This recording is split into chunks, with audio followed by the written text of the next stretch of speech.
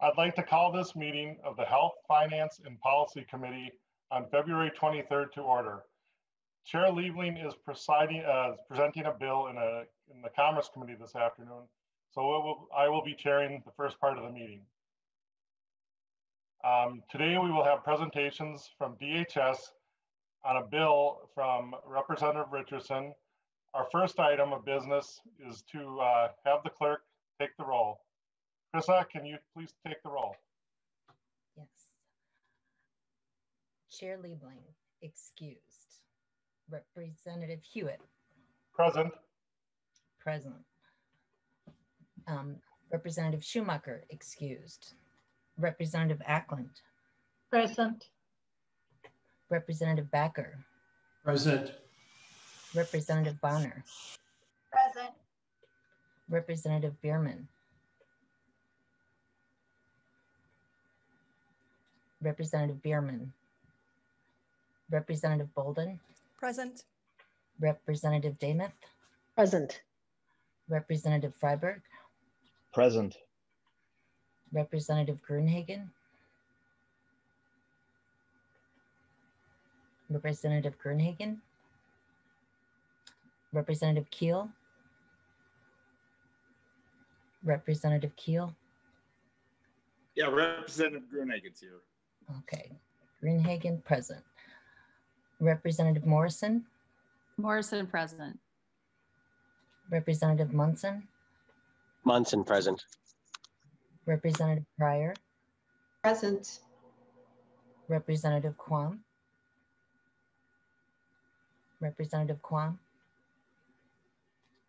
Representative Reyer. Present. Representative Schultz. Present. Representative Wolgamott. Wolgamott, present. A quorum is present. Quorum is present. Today, uh, I'm sorry, gotta get my right space here. Um, we need to approve the minutes of the uh, February 22nd meeting. Um, Representative Reyer, have you read the minutes? Yes, I have. I move that they are adopted. I ask uh, approval of the minutes for February 22nd. All those in favor? Aye. Aye. Opposed? Thank you. Next, we'll, we will move on. Uh, sorry, I already did that. already, um, our first presentation will be a presentation from DHS on their proposal in the governor's budget of making changes to the non-emergency transportation system in Minnesota. Assistant Commissioner Matt Anderson will be presenting for DHS. Mr. Anderson? Good afternoon. Can you hear me okay? We can, Mr. Anderson. Great. Thank you, Mr. Chair. Thank you, committee members. Happy to be here to uh, talk with you today about our non-emergency medical transportation benefit and some uh, changes that are included in the governor's proposed budget. Uh, next slide. Uh, just for uh, some context setting, uh, non-emergency medical transportation covers uh, transportation for our enrollees to any medically necessary service using the most appropriate and least costly mode of transportation. So this is a benefit that's covered both in our medical assistance or Medicaid population. It also covers individuals who are under 19 years of age in our Minnesota Care population. Next slide. When we talk about non-emergency medical transportation, we're really talking about a broad range of different types of transportation. Our clients are offered the least costly but most appropriate mode of transportation for their needs. We start with mode one, uh, and through an assessment based on the physical and cognitive abilities of the enrollee, we assess whether they have access to a personal vehicle or public transportation and move up in the options until appropriate transportation is found to meet their needs. Now, some of the less obvious uh, types of transportation that we have here, uh, unassisted is referring to really what we would consider to be sort of a taxi cab uh, kind of experience where a vehicle picks up a person at their home, uh, the, the car waits out at the curb, the person goes to the car, it drops them off at their appointment. Uh, this also includes public transportation. assisted transportation provides assistance for individuals either because of their cognitive or uh, physical limitations, where the driver or uh, uh, the provider would go to the door of the home, help that person get into the vehicle, and then when they get to their uh, medical appointment, help the person out of the vehicle and into the facility to make sure that they get to uh, where they need to be for their appointment. Um, protected transportation is our newest mode of transportation. It's also our least used uh, mode of transportation. It's really designed to help transport individuals who are experiencing a mental health crisis. And it's a way as an alternative uh, to having them transported by law enforcement, which could actually exacerbate their crisis. And so is trying to give a different uh, uh, means of transportation for those individuals. Next slide. These services are not exactly uh, part of the non-emergency medical transportation benefit, but they're coordinated and, and administered jointly with it. Uh, these benefits are only allowed in certain situations. So, for example, someone has to be gone from home a certain number of hours uh, before they would be eligible to be reimbursed for meals. Uh, or lodging is only allowed if it's cost effective to pay for the lodging rather than the back and forth uh, trips. Uh, but because they are administered together, we wanted to, to note those for the committee's background. Next slide. Within our non-emergency transportation, we have uh, different ways that the program is administered. So today, uh, for enrollees in managed care, uh, the managed care uh, organizations administer that benefit for their members. One exception to that is managed care organizations are prohibited from making payments directly to their enrollees.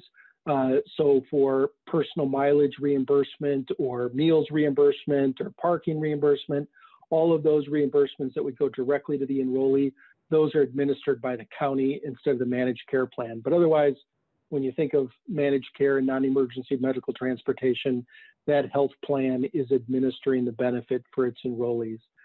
In our fee-for-service programs, the administration of the program is split between counties and the state. So the counties administer modes one through four, or those lower level um, modes of transportation. Uh, the um, uh, counties uh, enroll and pay providers. Uh, they set the procedures for their members uh, in their counties to access those services. For the higher level modes of transportation, those are administered by the state. Uh, so the state enrolls and pays providers. We have a vendor that we contract with to do the uh, level of need assessments for enrollees for those services and manage it through that. Next slide. So the proposal in uh, Governor Walz's budget is to uh, create a uniform administrator of, administrator of non-emergency medical transportation to really consolidate uh, the benefits under a single administrator uh, with a single point of contact for enrollees. So the uh, proposal would include both our medical assistants and Minnesota Care enrollees. It would include both our fee-for-service and managed care populations, and it could be administered on a statewide basis or a regional basis. The genesis for this proposal really began back in 2017. Uh, the Federal Office of Inspector General performed an audit of our non-emergency medical transportation services and found that 75% of the rides did not comply with either state or federal requirements, mostly due to one of three reasons. Either there was uh, a lack of sufficient documentation uh, about the ride and, and about the, the transport, there wasn't any documentation at all, uh, or the auditor was unable to find a medical service that the person received that would have justified uh, coverage for the ride. As a result of that audit, DHS returned $1.9 million to the federal government. A similar audit was performed by the Minnesota uh, Office of Inspector General uh, and found similar results. This audit showed, also showed that having a coordinator uh, administering the program increased the likelihood that the transport was provided appropriately. So this proposal that Governor Walz uh, put forward in his proposed budget would streamline the administration of the program on two fronts. First, it would allow for greater economies of scale by combining all of the non-emergency medical transportation under one administrator, and so you'd have more rides and, and uh, larger volumes. And second, we would be providing our enrollees in the current program who find it difficult to navigate between who they're supposed to call for what types of rides. Uh, we would be able to give them a single one call experience for any of their non emergency medical transportation needs, whether they're in fee for service or managed care, whether the mode of transportation would otherwise have been administered by the county or the state. It would just be one call and the rides would be taken care of. Next slide. I also want to mention another aspect of uh, the governor's proposed budget, another proposal in there, and that is to allow for purchase of uh, bus passes, uh, monthly bus passes when they're um, uh, when they're available for our enrollees. This proposal is really driven by the need to uh, figure out how we can use our Medicaid and Minnesota Care programs to go further upstream to address social determinants of health that are driving uh, a lot of the health issues and quality of life for our enrollees. We know that one of the most significant social determinants of health and serves as a barrier to accessing care as well as other life needs is transportation. And so what this proposal would do is take our current program, which does allow for people to get a monthly transportation pass, but only if the number of rides and the cost of rides they will need for medical appointments would be at least or greater than the cost of the monthly bus pass. What this proposal would do would take away that cost effectiveness test and basically say if you're an enrollee and you're going to need transportation for one uh, service in a month, that you be that uh, the program would be able to get a monthly pass, transportation pass for you. And I want to clarify at the outset, this does not preclude anyone from receiving other modes of transportation based on their needs. Uh, so the other, all seven modes of transportation would still be available, would still be an assessment to determine what's most appropriate and least costly. Um, and it wouldn't require anyone who's not served by public transportation to use this mode of service. That wouldn't uh, uh, accomplish our, our objectives. Um, it also, uh, if someone is living in an area that doesn't have public transportation, obviously it wouldn't uh, apply to them as well. So this is a step to being able to say, not only would we be able to provide transportation to those medically necessary services, but by providing a monthly pass, we would also be providing transportation to jobs, childcare, the pharmacy, grocery stores, uh, what have you, all of which enhance the person's quality of life and ultimately their health. So with that, I will take questions uh, on either proposal if uh, the committee has questions. Um, and um, Mr. Chair, turn it, turn it back to you. Thank you, Mr. Anderson. Uh, Representative Kiel, do you have a question or are you signifying you are here? How about both? Would you mind if we hold questions till the second uh, presenter, please? That would be just fine. Um, and Representative Gruenhagen, you're okay with that too? Yes, I'm fine. Thank you. Mr. Giogo Hans? Hans? I'm sorry if I messed your name up here. I, I know you as Mr. Reese most of the time, but um, if you wouldn't mind uh, pronouncing your name and giving us your title, please.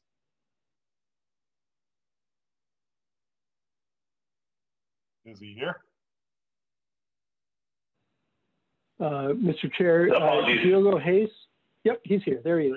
Sorry, apologies. Good afternoon, Mr. Chair members. Uh, I am here just to answer technical questions if needed. Uh, Mr. Anderson, uh, Mr. Anderson covered the presentation for us. All right, thank you, sir. So I guess we can move to questions. So uh, Representative Kiel, you had your hand up first. We're going to go with you first. Thank you, Mr. Chair. I appreciate that. Um, I have some real concerns about this program.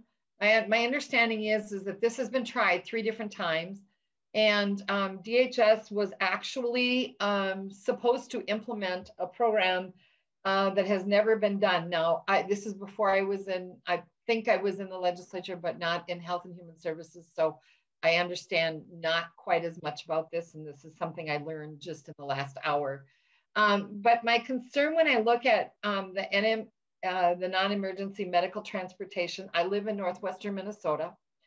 Um, my services provide for at least seven counties. Um, I also have Tri-Valley Opportunity Council that does bus people that can go to an appointment um, scheduled that do, they don't need any help generally with this. But I'm very concerned financially. Um, I, we're not going to have that service, and I I find it interesting with COVID uh, that we would even suggest that somebody ride together for a dialysis machine uh, ride. However, I know with um, uh, uh, um, immunizations and such that they probably will be in a better situation. But um, we're talking about uh, the gentleman told me that because the doctors are overloaded, that these rides that were an hour, maybe two, are now um, becoming five hours. Um, he's running out of staff. Uh, the costs of this program uh, that now exist, uh, we need to um, have a bill that funds these guys better. But we need these services. I don't know, my ambulance services are not going to be able to provide all the stretcher transport because of the volunteers and the situation there. Um, I, I, just I just don't see um, the mode four and three, four, and five can be provided by my NEMTs now. And I don't know who would be doing that. So um, is it Commissioner, Assistant Commissioner Anderson, how, how would you suggest that would even happen in Northwestern Minnesota um, with the services that we have now? Thank you, uh, Representative Real. Uh, Mr. Commissioner? I'm sorry, Mr. Commissioner. Uh, that's, that's okay. I've been called a lot worse. Uh, um, uh, Mr. Chair, Representative Kiel, uh, essentially what we would anticipate is that the uh, under this proposal, uh, the administrator uh, or, or, in the in the region of, of your state is going to contract with largely the same providers that are providing the services now. And in areas where uh, those services are already limited and where the um, available providers are limited, I don't think there's going to be significant change in in who will be delivering those services and who the contractor will be will be working with. But instead of those providers having to uh, negotiate and work with uh, two, four, up to seven different managed care organizations and the county and the state. They would be working with one entity and being able to process their claims and, uh, and arrange for rides uh, through that one entity. Thank you, Mr. Anderson. Uh, Representative Kiel. Thank you, um, um Chair Hewitt. Uh, I guess I'm having a hard time with if this wasn't uh, successful before, why we're going back to it. And also, um, I, I just learned that 20 years ago, uh, 40 years ago, they were see, seeing uh, about $22 um, a ride. Um, there, I, there's some more detail in there. And now they're receiving 18. So they've gone backwards. The NEMTs have gone backwards in being reimbursed and my um, my information has said that the insurance companies actually increased the funds just to keep them going um, during COVID, so that they were able to actually provide those. And with gas going up, gas has gone up 50 cents, over 50 cents now up here, and um, insurance um, rate increase for uh, their vehicles. That um, it's going to be real hard for them to meet those um, finances. So then my understanding is that you'll be covering all of that so that there is a, um, I, I don't, I'm, I'm having a hard time understanding how this is working. So maybe it's just me, but um, very concerned that we could lose these um, uh, services altogether. And um, I know we have a lot of volunteer transportation, but we do not have adequate for um, the miles that need to be taken. Um, so I, I don't know if you can assure me that they will, the business that exists now will actually be able to be funded appropriately. Can you? Representative Kiel, uh, Mr. Anderson, can you answer? Thank you, Mr. Chair. Uh, Representative Kiel, I certainly can't speculate about any given business and its uh, financial sustainability. Uh, we know that there have been challenges, certainly during COVID, um, we have uh, worked with our managed care organizations and encouraged them to use the flexibility they have available to uh, adjust rates uh, to providers to recognize for potential lost revenues or increased costs because of COVID. Um, we also have, uh, and we take very seriously our obligation as, as stewards of public resources. And when we have audit findings that show significant rates of uh, um, uh, non-compliance with the requirements for being able to be reimbursed, uh, we need to find ways to be able to address that. And uh, uh, this is one of the ways that we think um, we have a better chance of being able to get uh, better compliance. The other thing I would note is that there are regions of the state today um, where counties have, are using their own administrator uh, in managing this program and, and doing so successfully. There are all kinds of different um, variations around the country of different ways. This is, this is a difficult benefit to manage, and there continues to be experimentation around what are the best ways uh, to be able to do this. Uh, it, it, situations in the past that have uh, that have occurred uh, have you know swung the pendulum in, in different directions as we try to respond and make sure that we're meeting the needs of our enrollees in the best way possible. And uh, um, this is a, a, situation where we've had um, changes in in uh, in uh, how we have how we have administered it, and we continue to see compliance issues. And so, as we are, and as the Blue Ribbon Commission that that examined this strategy, we're looking at ways to reduce spending, uh, increase uh, compliance, and make sure that our enrollees are able to have access to the services that we need. We think this is a proposal that uh, can help us achieve those goals. Thank you, Mr. Anderson. I'm going to move forward to Representative Gruenhagen at this point. Oh, thank you, Chair Hewitt. Yeah, my, uh, Representative Kiel asked some of the questions I had too, especially in the rural area. And, you know, if it's been tried before, uh, according to what Representative Kiel asked, what were the results then and why are we going back to it now? Then I have another question. Mr. Anderson? Um, Mr. Chair, Representative Gruenhagen, I, I don't know. I haven't uh, been at DHS long enough to know exactly what the results were in, in the past. There have been different uh, situations where the state has uh, moved to a single broker uh, kind of arrangement. Uh, the idea in this in this situation would be to hold that contract closer for the state, and also to be able to consider using regional uh, contracts as opposed to a statewide contract. But those would be details that we'd uh, work out after legislation was passed. Thank you, Mr. Anderson. Uh, one more question, Representative Gruenhagen. Yeah, thank you, Chair Hewitt. Yeah, I mean, if 75% of the rides do not comply with state and federal requirements, if I remember right, there were also uh, some TV investigative on this and uh, do you know how much savings there would be or projected by going to this model? Uh, and also, could those savings be applied to increasing some of the reimbursement rates in the rural area where they're just barely scraping by? Mr. Uh, Mr. Anderson? Yep. Mr. Chair, Representative Gruenhagen, uh, you're correct. We will, we will, um, uh, as this proposal uh, moves forward, we will do a, a fiscal note to to get a uh, more accurate picture of the projected savings. When the Blue Ribbon Commission looked at this proposal, it's uh, one, it was not doing fiscal notes, but had you know sort of a rough fiscal estimate, and that was before COVID. We know that COVID has changed the landscape significantly, and so we'd like the opportunity to be able to do a a more current uh, uh, fiscal note before we um, uh, before we pin a specific number on it. Uh, but absolutely, the legislature would have the ability, if there are uh, savings that are generated, uh, to reinvest those savings in provider rates if it if it chose to do that.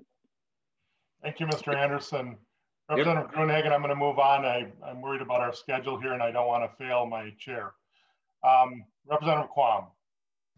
Thank you, Mr. Chair, and maybe the uh, assistant uh, commissioner could review the OLA report or audit on this topic uh, uh, if he needs background on some of the issues that we have seen and come across in the past. Um, I'd like a little bit of clarification because my understanding over the last uh, five, six years, the total number of entities, and these would be small independent entities across the state, that have been put onto uh, the list of, you know, we're not going to use them because they had a, a, a what's it, excluded group providers list. Uh, there are 20 in the last, uh, what, six years, um, which is in the single digit percent of providers. Uh, so what is the major driver that you're seeing or say you're seeing uh, issues and fraud to do this major change? And then back on your comment about, well, some counties are directly coordinating, at least in those counties, they know the cities, the, the highways, and, and the people more directly than a regional or statewide would. Thank you. Uh, Mr. Anderson? Mr. Chair, Representative Quam, the uh, issues that we are seeing in terms of compliance uh, remain largely what we saw in the uh, Federal Office of Inspector General report uh, from 2017.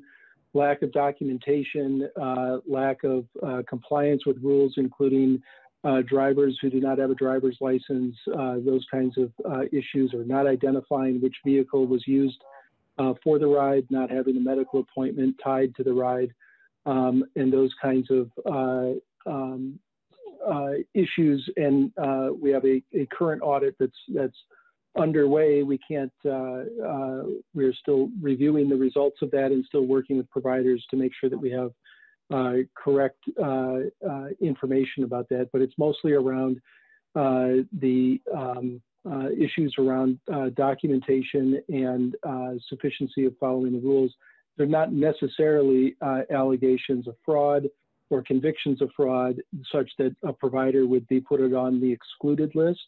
Um, but uh, it does uh, reflect whether or not uh, payments were actually owed under the under the terms of our of our programs. Representative Quam, a quick follow up. Uh, yes. Um, so my understanding is that we're looking at repeating, you know, going back outside again because the department and agencies are not capable of maintaining guidance to the federal uh, requirements on this program. Um, and if you're if you aren't capable of doing that to this small section of program, uh, how can we be sure that you're any more capable on all the other programs that are funded through the federal government that require uh, due diligence. In other words, it's not making me feel comfortable. You're saying we can't do it. We're going to have to find someone else. Uh, when this is such a small part of your pie for uh, other programs. So maybe uh, the committee could get some details on these type of issues in other programs that the agency and departments are, are overseeing. Thank you. Oh, yeah, thank you, Representative Quam. And I know this will not be the last time we visit this subject. I know this space all too well, and uh, we're, I'm sure we're going to look into it more. Representative Reyer. Thank you, Mr. Chair. Um, Representative Gruenhagen asked my question virtually word for word. So well done, sir, uh, about would the savings then be used to improve rates? Because to me, that's one of our uh, root cause issues in many areas of healthcare is that some of these um, services that we need so badly don't get enough uh, compensation to keep the lights on. Um, I also wanted to make an observation that I often hear in, not in this just this committee, but here and elsewhere, we've tried that, it didn't work, why would we try it again? And I would argue that in my career in process improvement and project management, if we didn't keep trying and innovating, uh, we would be permanently stuck um, in a place where we aren't growing, we aren't finding better ways. The real uh, problem is if you just keep trying and doing things the same thing, same way over and over again, which I don't hear suggested here. So I'm just putting in a voice for innovation and uh, thank you very much. Thank you, Representative Reyer. Representative Pryor.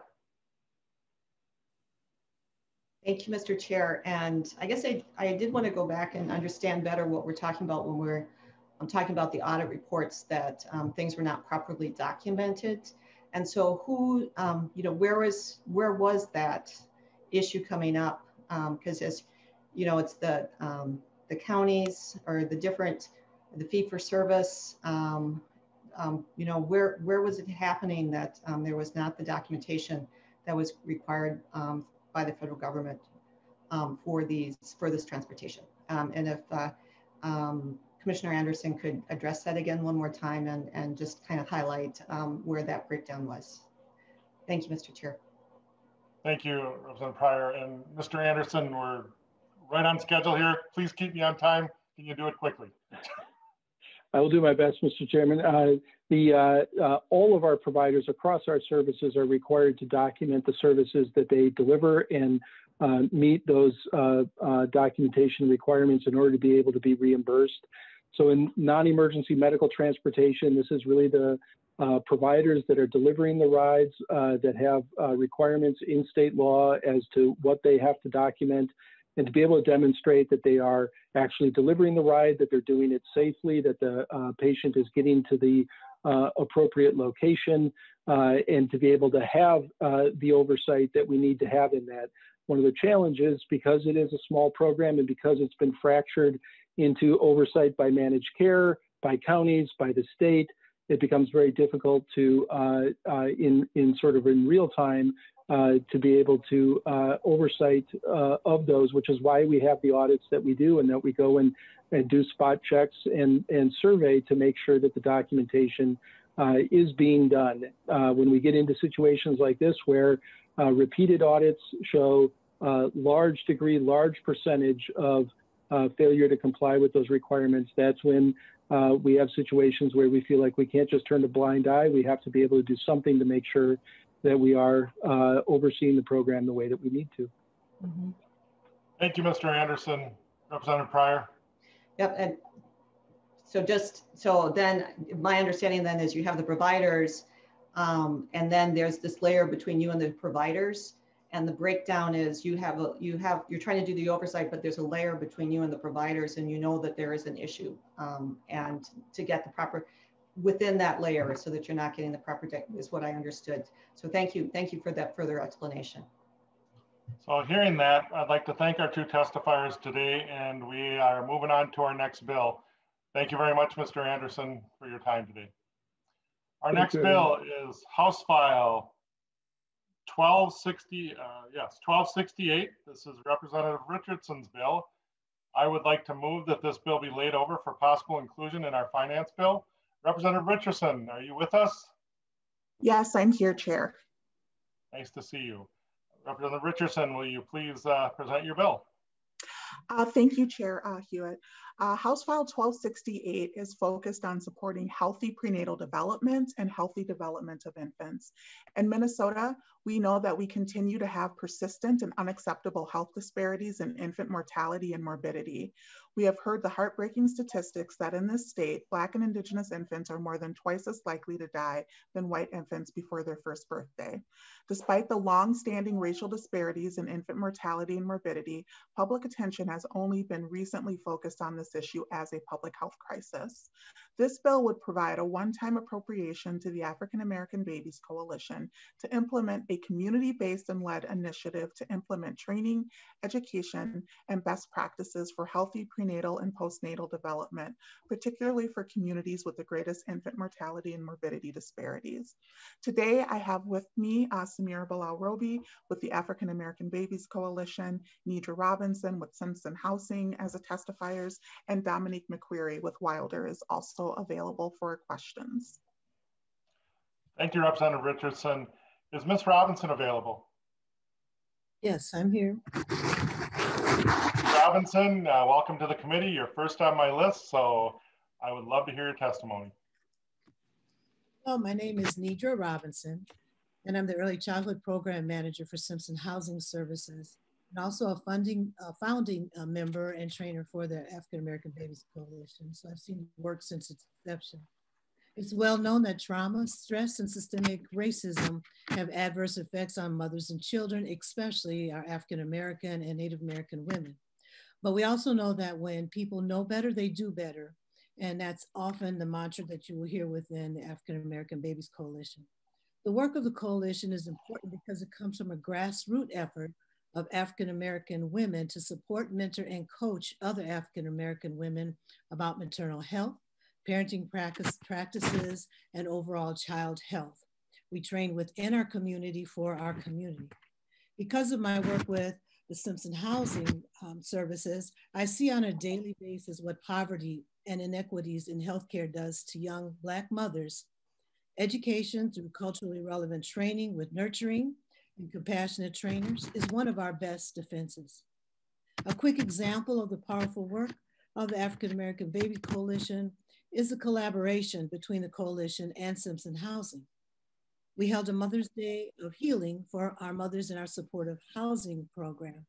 This was a special all day retreat for these parents that included speakers highlighting the importance of prenatal and maternal health and building resilience. Small group sessions encouraged creativity and healing. Through our community-based trainings, African-American mothers learn about supporting babies' brain development, strategies that they will use to overcome stress and improve their health, and how to self-advocate in the healthcare process. It's exciting for me as a trainer and as I've done trainings to actually see through our discussions that young Black parents are learning the importance of high quality and consistent prenatal and maternal care. I strongly support House File 1268. Thank you. Thank you, Ms. Robinson. And I'm, I'm new at this, so I'm going to ask you um, to say your full name and your title for the record. Okay, thank Nedra, N-E-D-R-A, Robinson, R-O-B-I-N-S-O-N, and I'm the Early Childhood Program Manager for Simpson Housing Services. Thank you, Mrs. Robinson. And Representative Ruth, uh, Richardson, you have one more testifier, I see. That is correct.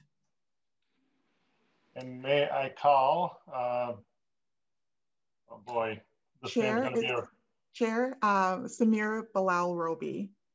thank you, Representative Richardson. Are you available? I certainly am. And I'm gonna do this right this time. Can you say your record, uh, can you say your name and uh, your title for the record? Thank you. Thank you. My name is Samir Bilal Roby. I am um, the director of Wilder African American Babies Coalition and Projects. Thank you. And you can continue with your testimony. Thank you. Thank you. Good afternoon, and thank you for this opportunity to testify. My name again is Samira Bilal Roby. I'm the director of the Wilder African American Babies Coalition and Projects and program manager for the Integrated Care High Risk Pregnancy Initiative. I'm also, on a personal note, a grandmother of 19. Wilder AB, excuse me, Wilder AABC works to meet the needs of all our families. Our interest and my passion presented today is the continuation of our work with focused on teens, prenatal health, and training healthcare workers. Through our programming, we address adverse childhood experiences by training the workforce in culturally relevant care through evidence-based training designed from experts in, health, in the healthy development. This creates new pathways of health for the entire family. Our concentration, especially right now, is on the human factors related to health and personal interactions with emerging health issues and stress related to COVID 19. My focal point today is on the Black and Indigenous and communities of color with an evidence based fact. The stress of poverty has the profound indication of disrupted brain development in infants and mental inhibition or inhibition, inhibition, I'm sorry, saying it wrong, in adults who are worrying about their finances and the lack of spending crucial time with their families. There lies the problem of social determinants of health, unsafe environments for teens, women, and babies. Fathers living with depression, worrying about their families, often leading to mental health disturbances for all of the above. In passing Bill 1268, we will be able to expand and deepen our work at AABC. We believe we can benefit as a community by paving the way for all families by acknowledging their circumstances and letting them know they're not alone. This allows us to recognize some triggers which bring out inappropriate behaviors, letting them overcome barriers and learn the everyday essentials of care for a vibrant social life. In closing, I call on you to help pass this bill so that, so that our women, babies, and parents can flourish, providing the attention needed to build healthy human beings. Thank you. Thank you, um, um, Director. And I want to thank both the testifiers today. This is such an important uh, subject, and uh, it's it's great to see that they have such strong advocates as both you two. Um, are there any questions from committee members? Representative Morrison. Thank you, Mr. Chair, and thank you, Representative Richardson, for uh, bringing this bill forward. I appreciate um, Ms. Robinson and Ms. Bilal Roby, your testimony. Um, given that we have uh, really a crisis of maternal and infant mortality in Minnesota, uh, I'm, I'm glad to see this bill go forward. I'm sorry it's a one-time appropriation, but I think that reflects the urgency of our need to address this issue um, so I'm grateful for the ideas and I'm and I'm grateful for the bill and I, I urge support um, from everyone on the committee. Thanks. Thank you, Representative Morrison. Are there any other questions from committee members? As not seeing any, it looks like as the chair, I'll renew my motion that 1268 be uh, put uh, for possibility inclusion on the uh, finance bill. Thank you, Representative Richardson. Thank you, Chair. Thank you. Thank you. So it looks like committee, we have another presentation and we're ahead of schedule. Tina's gonna be happy. I mean, she's gonna be proud of me. so, um, our presenters now, um, let's see where we're at here. Looks like our presented uh, from the from DHS a report on telemedicine. Um, we have uh, two presenters this afternoon. It looks like uh, starting with uh, Deputy Assistant Commissioner Julie Marquardt. Are you here? Yep, Mr. Chair, I am. Well, thank you, Mrs. Marquardt. You can go ahead with your testimony if you will. Okay. I'll wait till the slides come up here. Okay, thank you, Mr. Chair. Um, uh, we, uh, Nirja Singh and I, who, who's going to come in uh, partway through here to, to finish up. Um, as everybody knows, uh, we, uh, we ended up in an unprecedented situation um, where we had to create rapid response to an emerging and uncertain pandemic. So uh, we're all familiar with the fact that the Center for Medicare and Medicaid Services allowed states to submit waivers um, to respond to the peacetime emergency. And so uh, DHS took several steps uh, to ensure that enrollees on our um, medical assistance and Minnesota Care programs could continue to receive necessary care and allowing that care to accommodate the stay at home orders and the social distancing requirements that we now found ourselves um, facing. And so in order to do that, we took a series of steps uh, to submit waivers to CMS and to amend our um, basic health program blueprint. So the amendments and the waivers are for the Medicaid program. The basic health program blueprint is what authorizes our Minnesota Care program. And some of those were to temporarily expand what we allowed to be covered and paid for enrollees for related to telehealth services. And so um, within the agency, we worked really closely uh, between our healthcare administration and our behavioral health division to really try to keep our um, keep alignment as best we could so that providers were getting consistent messages we were creating consistent requirements particularly our larger health systems that probably go across the spectrum would have some consistency in the expectations around what they could do the standards around that and the way that those services were built um, so we were really looking at the immediate needs, um, recognizing that people were going into stay at home orders. We had uh, elective services were suspended for a time period. Um, but how did we, how could we make sure that emergency healthcare services, primary healthcare services, specialty healthcare, and treatment services for opiate use disorder, substance use disorder, and uh, mental health services would continue for people who needed them, um, particularly during the initial phases. Um, next slide, please. Um, so within that, there's, there's some vernacular that probably needs a little bit of clarification. So for background, um, there's sometimes you will hear uh, things referred to as telehealth, and sometimes you'll hear a term telemedicine.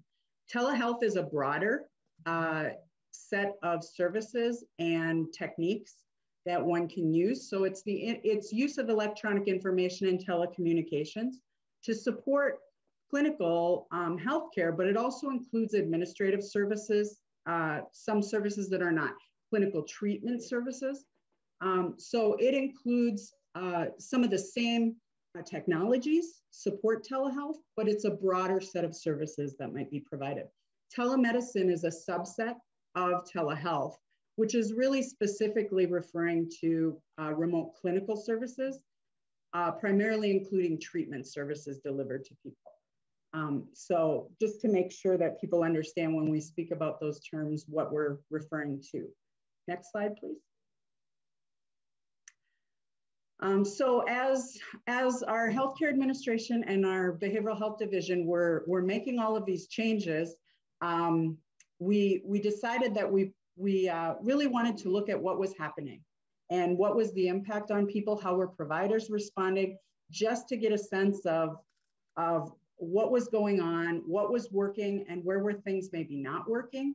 Um, and we started to realize this was an opportunity to understand, at least in this really unprecedented situation, where was telehealth really being used? How was it being used? And how were patients feeling about using that? Um, so we examined, and I, I want to stress this our results are very preliminary. There is so much data yet to come in. We only had limited claims data to work with. So these are very early results, um, but we wanted to share them with the community as quickly as we could because we just want to, we understand that this should be a growing body of information that we continue to build on.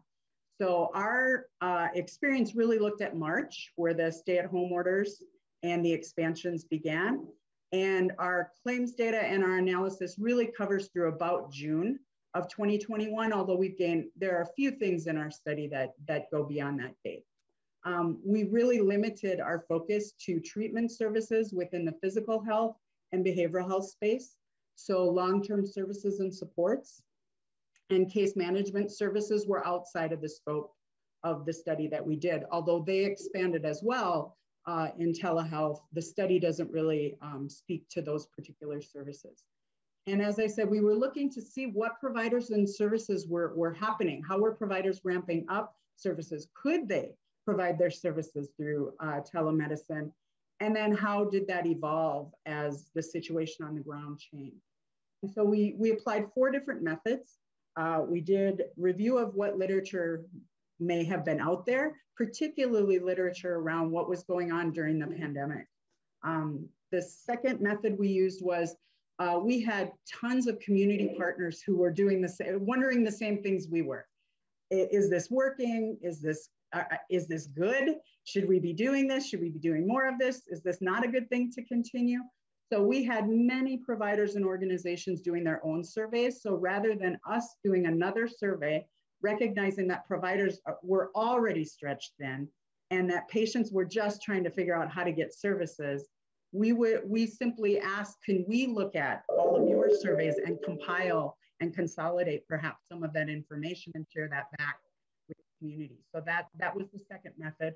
The third, we took our claims from managed care and fee for service um, and just looked at what, what we could derive from, from our claims data. And then finally, we did uh, some focus groups with providers to hear directly from them about their experiences and the, their perceptions of the experiences of their patients or information they were gathering through questionnaires from patients that they were serving.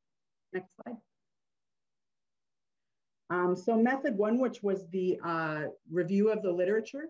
Um, no surprise here, COVID-19 was a catalyst for telehealth. It, it, expanded it rapidly and in ways that probably we had never thought it could, um, which was not a bad thing. so uh, the, you know, the good news is this, this wasn't uh, all negative. Um, it certainly ensured that people, when they uh, couldn't get out to get services, or perhaps uh, facilities were wanting to reduce their amount of staff, reduce the risk to their staff, that they could provide services remotely and prevent people from having to come into uh, uh, social, um, socially close situations. Um, so it, it certainly in, enhanced the ability to get timely access to care. It also created more efficiencies. So patients didn't have to get in the car and drive long distances. If the provider was typically uh, far away, uh, it was efficient for patients to be able to fit appointments perhaps into their day much easier. Um, likewise for providers, providers who had who normally would visit multiple sites could remain in one place and simply remotely connect with those sites. So there were certainly efficiencies that, that were gained. Um, within that though, there of course is always uh, concern that, that a one size fits all doesn't work for all. And so there, there are certain populations that, that kept coming to light that we really do need to spend some time making sure that this does work. And in particular, seniors uh, came out uh, consistently and, in particularly their familiarity with technology and the comfort level with technology. Um, low income individuals, their ability to have smartphones. Do they have smartphones? Do they, do they have internet access? Um, and so does that uh, get in the way. Uh, rural areas. Um, yes, it's good to, to have the distance, but you don't want to create uh, rural, uh, access in rural areas that relies solely on telemedicine.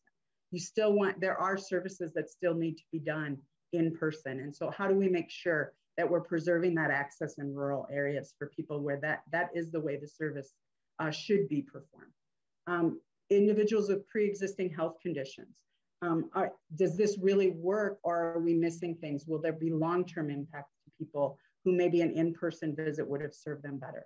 And then of course, anyone with limited internet access, which rural areas are in particular, but we know that our tribal areas do not have internet access. Uh, we know some uh, areas in, in um, larger communities don't have sufficient internet access. So that's just another consideration. And then just generally this uh, rapid uh, expansion means we need to take some time to figure out what the long-term outcomes are. And, and that patient's health outcome at least hopefully improves. Does it stay the same or, or did this do something detrimental to long-term outcomes? And those are things we just have to study over time. Um, but then also that all healthcare providers should benefit if their services can be safely and effectively provided there isn't probably a reason to keep certain providers from, from delivering services this way if their services can be appropriately provided. Next slide. Um, and method two, which was the consolidation of the survey information. So this was coming from our local providers um, within Minnesota. And generally, the information was, was really quite consistent with what, what the available literature and information was telling us on a more um, national level. Um, but within some of the things that we heard uh, specifically within Minnesota was that the, there's definitely a support for continued use of, of telehealth as an option um, for provision of some services. I think there were some that worked really well, some that providers maybe felt uh, would be a little bit could, people could have been better served or certain populations might be better served still doing it in person. Um, but they did say you really have to look at the type of service, the frequency and the amount, and how often is that person receiving in-person care so that you're not relying perhaps solely on, on telehealth as the only. The patient's preference, their comfort level. Do they feel connected? Do they feel like the, the experience is working for them? And then definitely as we learn more about the long-term impacts, um, we need to inform our, our telemedicine policies in the future with those, with that information as we learn it. And then finally, um, one of the things that I think everybody kind of uh, in the healthcare world understands is one of the biggest uh, reasons we could expand and that providers could expand, uh, particularly in some sectors, was because there was a, there's been a relaxation in the enforcement of the privacy and security requirements under, um, under HIPAA. So the Health Insurance Portability and Accountability Act, which created those standards um, in the early 2000s, they are relaxing enforcement right now on those. And so we're allowing technologies that probably wouldn't meet the standard it, under normal circumstances, they're allowed to use those during the pandemic. And after the pandemic, we're not sure yet what that's that's enforced by the Office of Civil Rights and what the Office of Civil Rights may or may not do with respect to enforcement or changes to HIPAA, we don't know yet. And so if they go back to the pre-pandemic standard, there are providers who probably are not using compliant uh, technologies.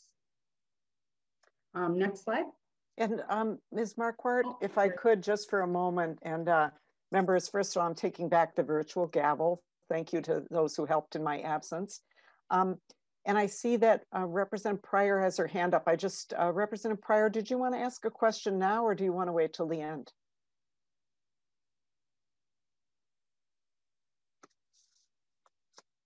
Sorry, I can wait till the end.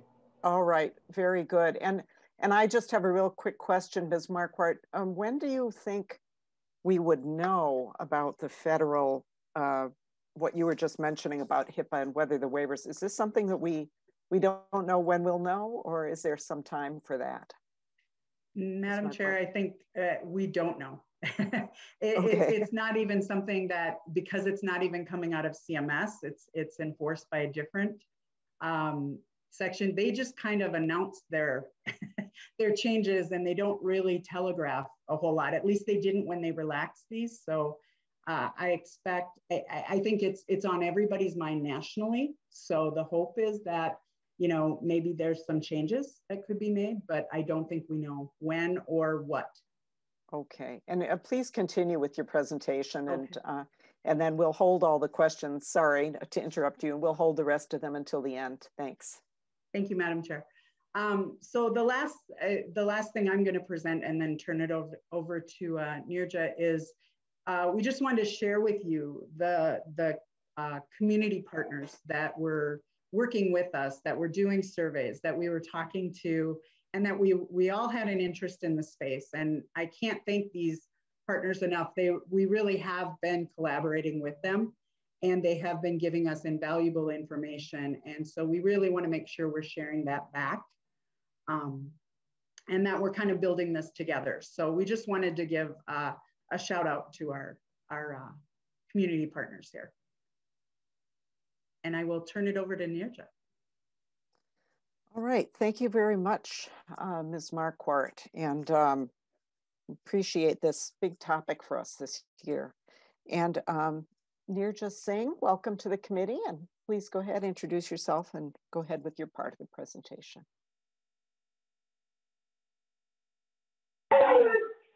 Thank you, Madam Chair, members. Uh, my name is Nirja Singh, uh, and I am the Clinical Behavioral Health Director for Community Support Administration. Uh, so I will be taking on where Julie left. Uh, this is like method third that we used in our study. And as you'll see, members and Madam Chair, there was like a significant increase in utilization of telemedicine. Uh, and when, when we're looking at this data, I just want to kind of give a word of caution that this is simply the providers who were telling us whether they were seeing the client in their office or not in their office. We really do not know the exact modality of telemedicine they were using, like whether it was audiovisual, whether it was HIPAA compliant, whether it was telephone only. So this is simply that they were not seeing the patients uh, in person and utilizing, utilizing other modalities. Next slide, please. This is again, like this is what we found uh, in our uh, analysis of our claims and Madam Chair and uh, members, as you'll see, that there was a quite uh, low utilization of telemedicine modalities among our BIPOC communities. So um, as Julie mentioned, that this is an ongoing process. So we will be looking at possible reasons uh, why our communities of color and our indigenous clients uh, did not utilize telemedicine uh, in the same manner as our white, white clients. Next slide, please. These are uh, some of the themes that emerged uh, out of our uh, focus group discussions. And as you'll see, uh, we really could not uh, tell like the modality the providers were using. However, all providers agreed that they were able to significantly scale up their operations uh, during COVID, which was a great news, so that our enrollees uh, were able to get services uh, during this pandemic. Uh, and as you see, like it really rated, uh, it seems to be ideal for young to middle-aged adults who had some fluency uh, with utilization of technology. seniors and children, they really face a major, like a lot of obstacles in accessing um, that service. Uh, during our focus group, providers also expressed that it was difficult to engage children in calls for extended period of time, uh, which really interfered with uh, the level of service that children need. However, uh, substantially, uh, our providers were able to uh, see that this telemedicine really helped with their clients' issues with mobility or like sometimes travel, travel restrictions. So they were able to get the services. Next slide, please. These are some of the recommendations that came from the focus groups we did with providers as well as our analysis of the surveys. So our providers are asking for clear guidance from DHS on billing, payment, patient notes, or any other aspects of care. And as uh, Ms. Marquardt pointed out, right now, uh, everything is up in the air because uh, NAD and Sharon members, we were hoping when we put these waivers in place that we will, the COVID will be over and we will have like a post comparison group to compare, and we really don't. So it's an ongoing uh, process, and uh, we'll have to just learn as we go along. Um, majority of our providers have asked help to ensure access to high-speed internet. Uh, we are working and finding out some resources and how to even uh, address this need. Um, also, like a lot of our requirements uh, still need our patients as well as guardians of our patients as their children uh, for like signatures, like physical signatures. So providers, especially our small providers, really struggled in finding ways to obtain electronic signatures. We were able to waive, uh, or we are looking at waiving some of the requirements for uh, even electronic signatures and documenting if verbal consent can work, but that is like, it requires a lot of interface with the federal laws. Uh, and again, providers are asking us to work with CMS, which we are, to find out what would be an easy HIPAA compliant, because all our providers really care about patients' confidentiality and patients feeling at ease uh, that when they're talking to their provider, the information is secure. Uh, but they want us to work with CMS and Office of Civil Rights to find out like what would be an easy way uh, to ensure this uh, adherence to HIPAA requirements. And then also uh, there was discussion regarding uh, our clients where English is not the first language and there is need for interpreters, like how this would work for our communities uh, and which is still an ongoing uh, consideration. Next slide, please. Uh, Madam Chair and members, we, we want to make sure we cannot emphasize enough that this is one little step in the direction of uh, ensuring and facilitating access to quality services in Minnesota.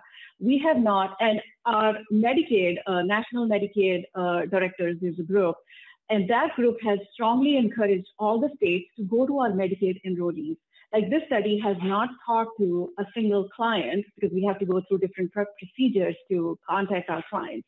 But we really want to uh, explore and meet with our clients who received uh, telemedicine during COVID to analyze their quality of care experience. What was their experience? Were they satisfied? Uh, this is very much limited to claims data. Uh, and as like kind of, you know what, as I explained in the beginning, we are still in pandemic.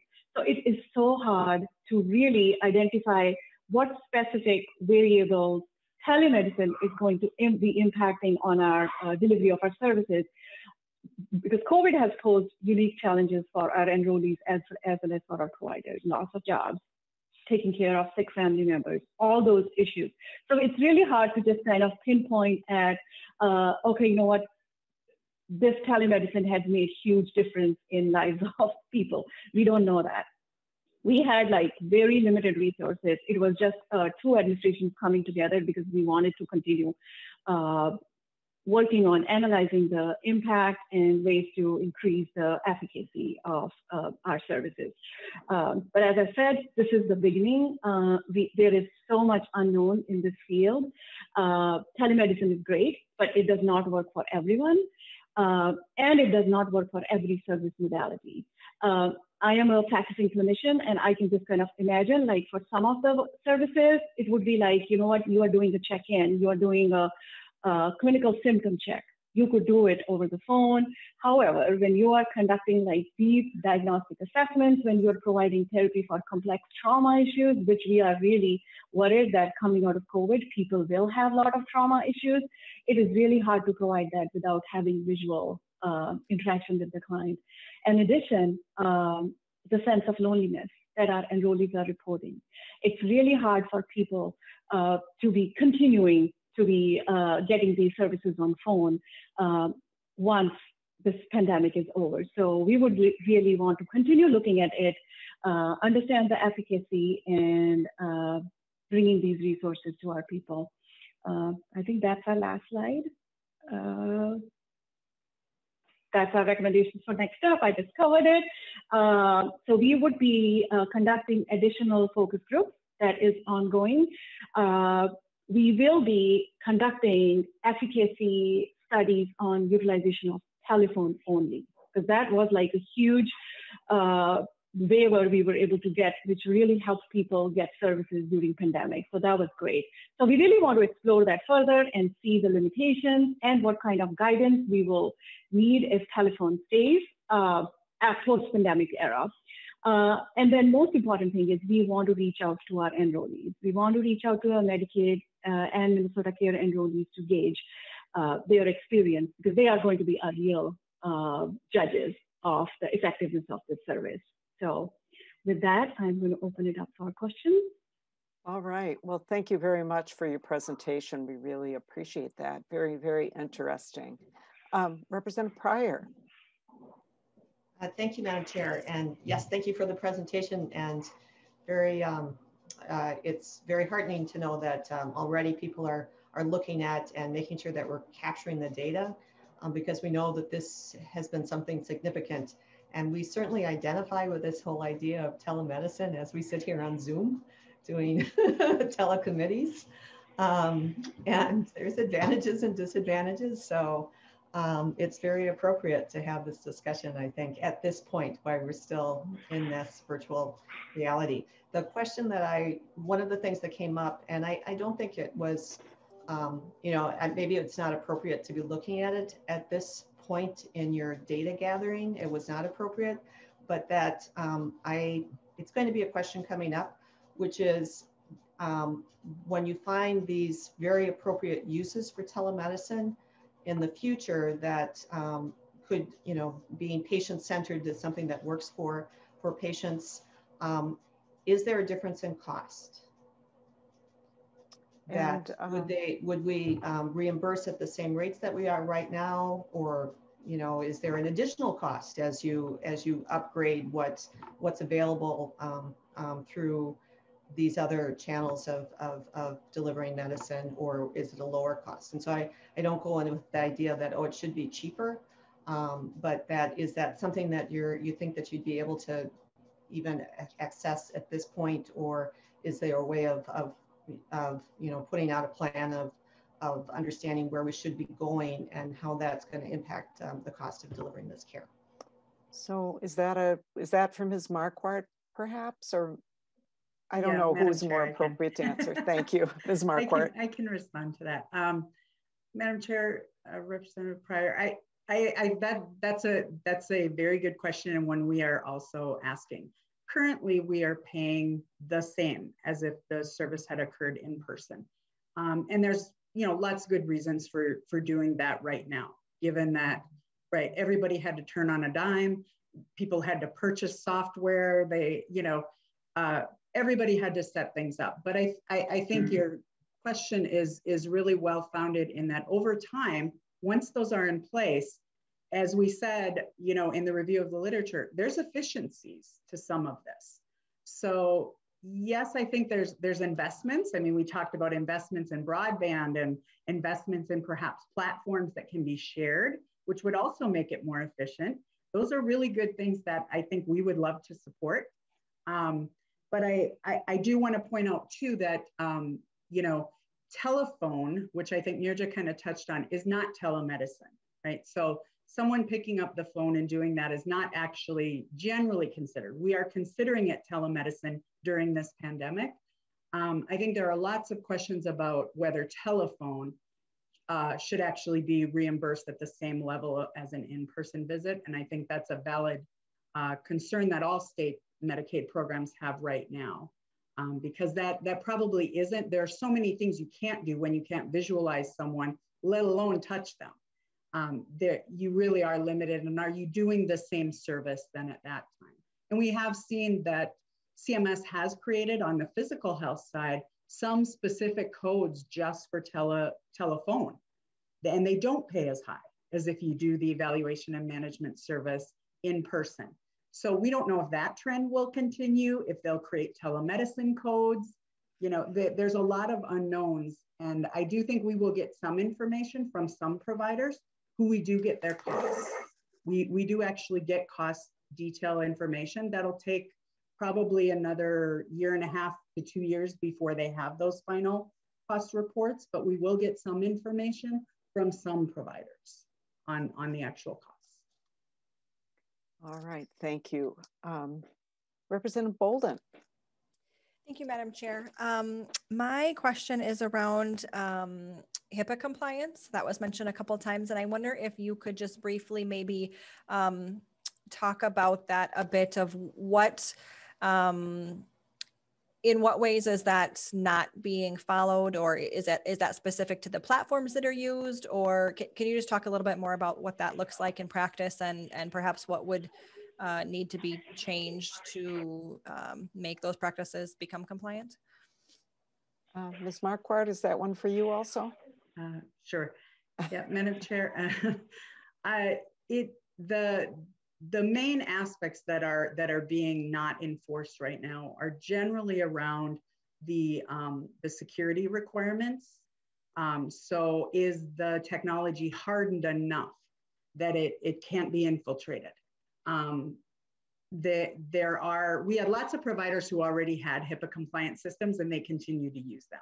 But for providers who maybe didn't use this method, it, it I, I don't think they could just stand up a HIPAA compliant uh, uh, platform. So uh, generally speaking, it's the hardening of the security around it and then the ability to do audit, uh, audit trails there are requirements in HIPAA that require that you, you maintain the session data, which is just the technology behind the scenes of when did it start, when did it end, who, which IP address were you connecting to and where was that located so that you could actually validate that the service occurred and that it occurred at the place that, that they said they were.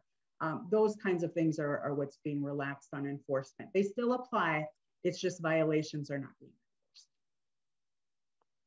enforced. Okay. Other questions, members? All right, I'm not seeing any. I just have a couple of comments and unfortunately I missed the very beginning, but the fact that these are, are recorded is gonna save me here because I'm gonna go back and watch the entire hearing. But um, a couple things really jump out at me from the presentation. And one is the complexity of this whole issue. And some of the really great, the great member questions kind of put a put a spotlight on that too. That we have to think about, you know, what should what should be paid for? Um, which things do we want to obviously when you pay for something, you incentivize it. That's kind of one of those truisms of our work here, right? And so if we're paying, for example, for telephone visits, are we going to get more telephone visits or you know, all of the complexities that you talked about, there's just a lot to consider here. So um, I really appreciate that how the the report kind of unpacks some of this and helps us think about the different issues involved in it. That's really important. The other thing that really strikes me is sort of the timeline of this. So there are some bills uh, circulating right now that will, you know, may or may not be go through this committee that are about this issue, what we should do with telemedicine, how we should, you know, pay for it, what should we to kind of make permanent some of the things that we've been doing temporarily during COVID. And so one thing that kind of struck me from the presentation is that, uh, and you know, this is just for all of us to think about that perhaps we're not really ready. And perhaps we won't be ready for a while to sort of make these decisions on a permanent basis. And um, so, you know, I think that we as legislators, um, we want to do the best for our pa- for our, our, constituents, which is the patients who are utilizing these services or could be utilizing them. We want to make sure that we're doing our duty to the state by making sure that we manage our budget and we don't pay for the wrong things or too much for the wrong things, and that we do pay enough for the right things. And you know so this is a really heavy responsibility for us. There's a ton of money as you all know you've heard all these presentations about how much money we spend on health services. It's a lot. So this is important. We need to get this right. And i guess what i'm what i'm saying here is i'd really love members to kind of help think about what our strategy should be for this session.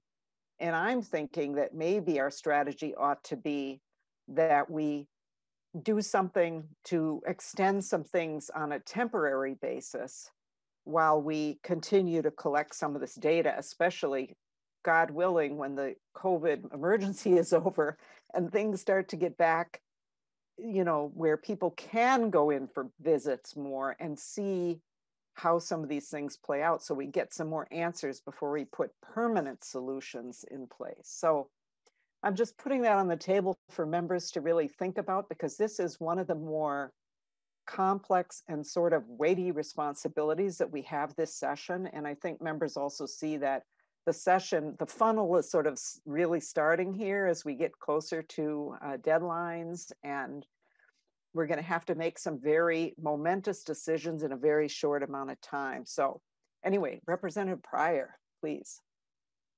Thank you, Madam Chair, for recognizing me again because I realized I had my turn. But I'm kind of, you know, very much um, hearing what you're saying and appreciate your comments there.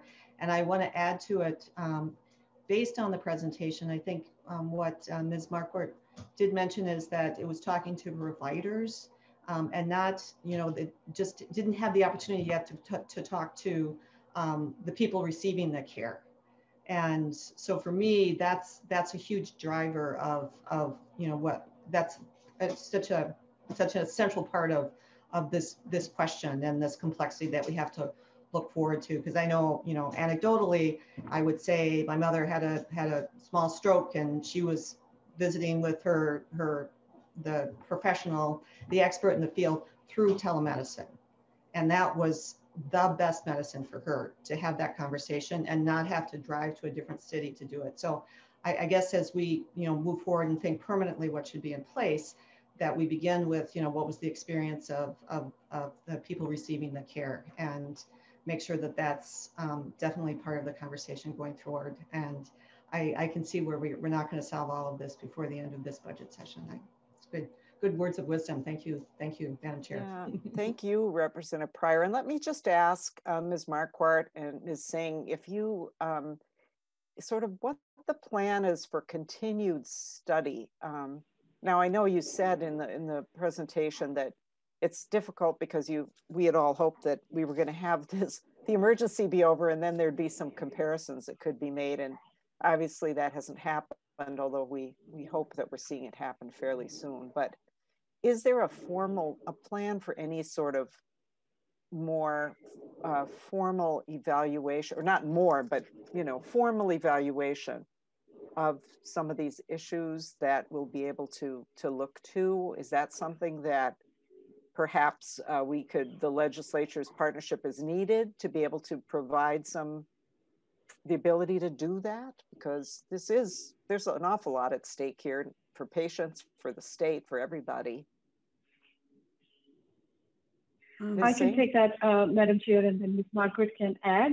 Uh, well, the next step are we already have provider focus groups going on, asking them regarding utilization of telephone only. As I uh, said in my presentation, like how providers were able to or not able to address complex behavioral health concerns, like I said, complex trauma or severe grief issues using telephone only because it's it's not possible. We all know that without seeing the patient that you can treat some of those uh, areas. So we are, uh, those focus groups are going on right now. Um, we are working to submit a request to our research board to develop a plan because we need to go through our IRB board uh, to con conduct these focus groups with our Medicaid enrollees. So we will be reaching out to Medicaid enrollees too, um, asking about their experience of care with telemedicine uh, and different modalities of telemedicine, audiovisual as well as use of telephone only.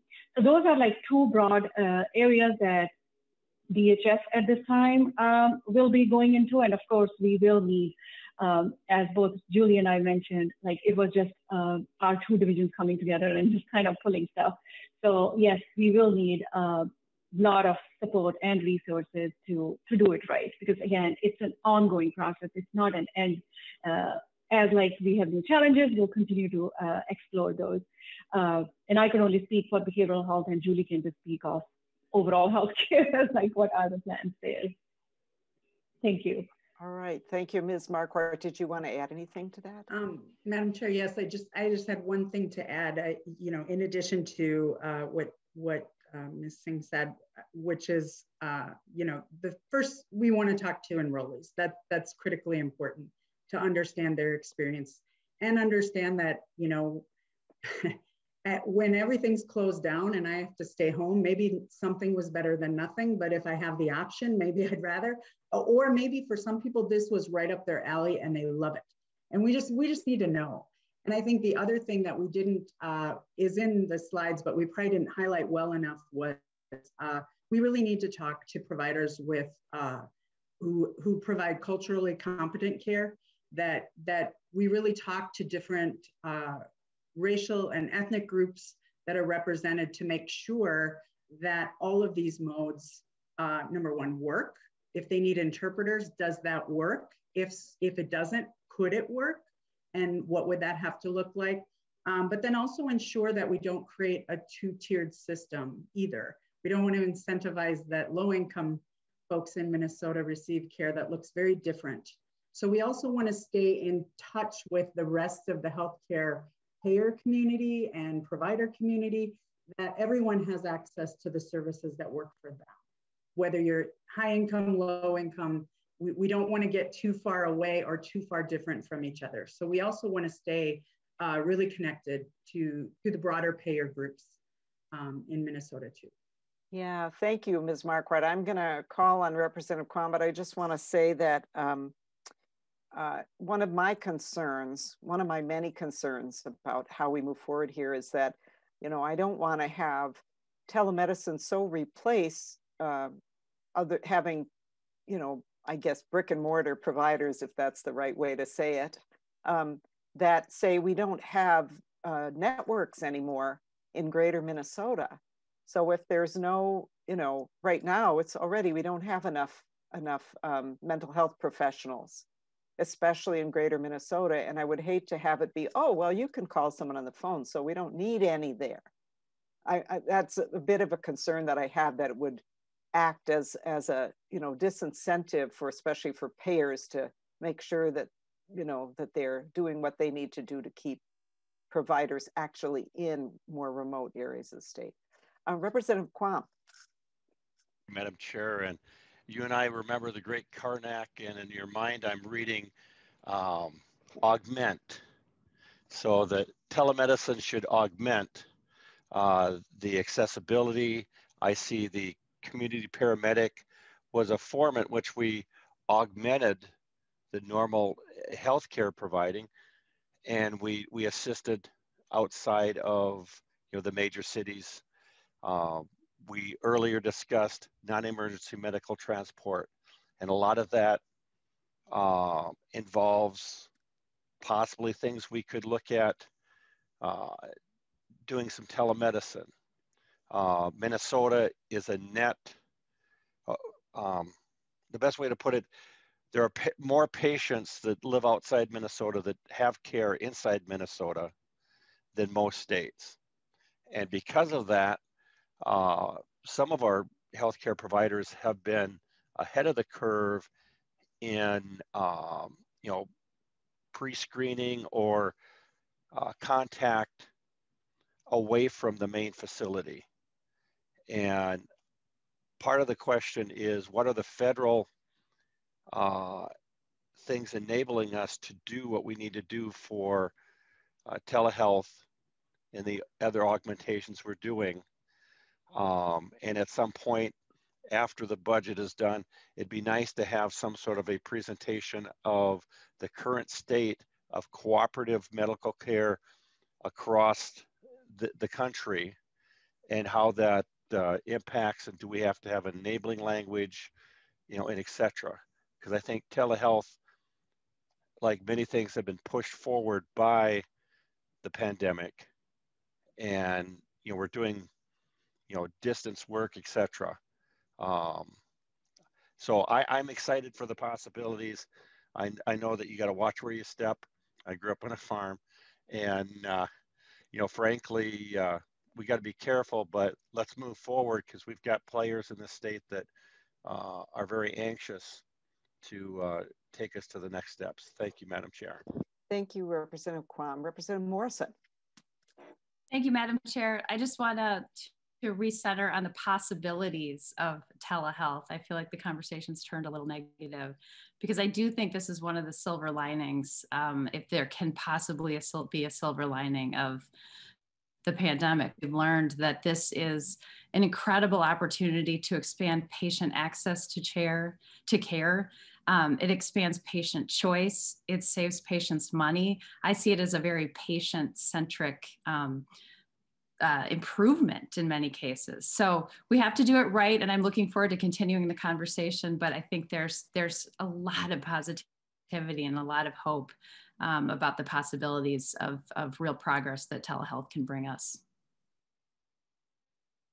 Yeah, thank you, Representative Morrison. No, I agree. I think that's thank you for that um, I think that's that's been very clear. And um, you know, there are things that we need to work on to make sure that it that we do it right. But but absolutely, I don't think anyone's talking about let's go back to where we were.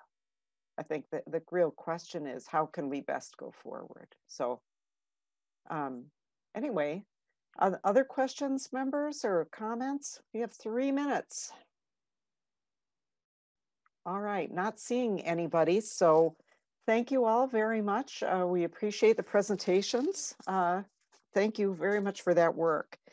And um, so members, I just uh, want to let you know, here's, here's um, talk about bad news. We're adding a hearing this week on Friday from 3 to 4.30, and we're, we're gonna be doing additional hearings on Fridays 3 to 4.30. So block that out on your calendar.